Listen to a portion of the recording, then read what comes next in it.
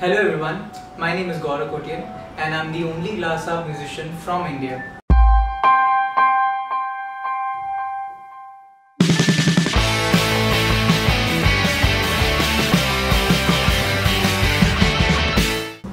Many people ask me, what is this instrument called glass harp?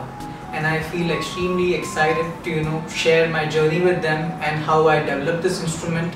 So my instrument consists of wine glasses and there is water inside those glasses and I produce musical soothing notes out of them. So it's a very rare uh, craft and very unique craft which has not been discovered a lot and um, I feel extremely lucky to be able to play that.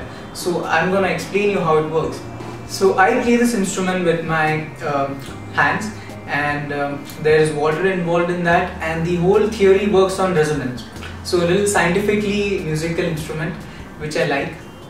So uh, how did it, how did I come up with this?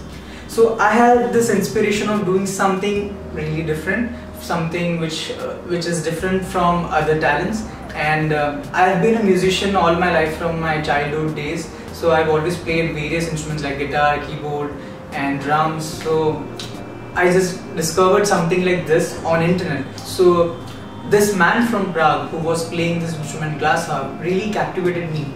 Uh, at first I thought it is not real, but then you know with some experimentation with my glasses at my house which were available, which were not very well to do with the instrument, but you know uh, it was a beginning. So I started with one glass. I tried to create some sound, and it worked. It didn't work.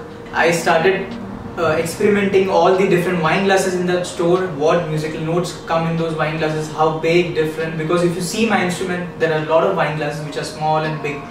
So then i made my first set of rough wine glasses uh, a rough glass harp which was placed on thermocol which didn't hold up pretty well fell and then used to wobble around everywhere then with some time I came up with this hard board with wooden uh, base on it. I made my own wooden glass harp which was a little uh, time taking task uh, in terms of it took me a few months to do that. Then I practiced and practiced to master the art, how it works and the craft, how it works.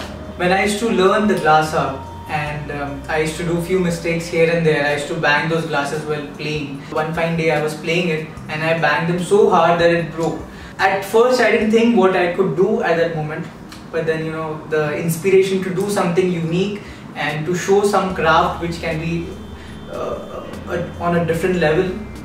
I kept at it and I keep do kept doing it. I practiced and I then eventually uh, mastered the craft how to play it. So I went to a carpenter with my dad and then with some convincing and now you can see right behind me is the final wooden glass which we have made. The hunger to perform in front of the audience, you know, uh, to be on stage, that's what, you know, inspires me every day and since I got to know about this instrument and since I developed this instrument, I thought I should do it with, in front of the audience. So one fine day I got an opportunity to perform my glass harp for the first time in front of audience and I was very nervous but you know at the same time I was very passionate enough to you know just go on stage and you know just just kill the set so I was all prepared and I did my first show and then I realized that you know audience really love this instrument I, I should take it up further and then since then I've been doing shows and I love to perform for my fans and all the audience in China. So two of my most favorite songs which I love to play on glass harp really go very well with the audience as well. Those two songs are one is Lag Ja Gale and I love performing it. And the second song is uh, from the movie Titanic, My Heart Will Go On. Another huge classic number which everyone loves.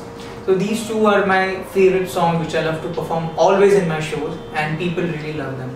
So the biggest compliment or the appreciation which I've gotten from my audience is that uh, they say that I've got magical fingers and uh, they really mean it because when they see my performance they think that you know this is some kind of magic in music and it goes very well together. So I feel happy that I you know get these compliments. One day I got a call from India's largest TV talent show which is called India's Got Talent. I was very pumped and very excited because I was never been on TV before and this was my first time that I was a, I was going to be on such a big stage in front of live TV audience. So I was very excited and it was one of my dreams come true to perform on such scale. It was the most cherishable moment of my life because um, I got to perform for Mr. Shah Rukh Khan. He asked me that, you know, what is this instrument called? And I was in awe first of all in front of him, but then I told him that this is called glass harp and he said that I liked it very much.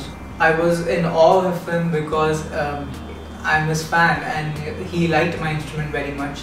Another milestone in my life was when I was lucky enough to be invited on TEDx to speak on my journey, the challenges which I faced uh, while making this instrument and to inspire the people all around the world. I wish to take this journey ahead with collaborating with all kinds of different artists, all creative people, different kinds of music, musicians, uh, singers and everyone who is in music business. I like to inspire everyone in this nation and also all all over the world that you know to follow your dreams to be passionate on something which you love and be consistent in it. So embrace your uniqueness and follow your dreams. Thank you so much